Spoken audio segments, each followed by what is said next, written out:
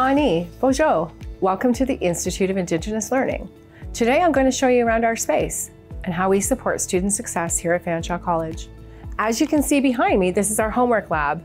Students are able to work on their homework here, print for free, and they can gather with their friends and socialize. This is our common seating space where you could sit if you're waiting to meet with, say, our academic advisor, Kristen Longdo, or maybe our career counselor, Brian Malott. We have a little space back here where you can meet one-on-one with one of us, maybe an advisor who can hook you up with a tutor, or any other outside resources that you might need to help you out.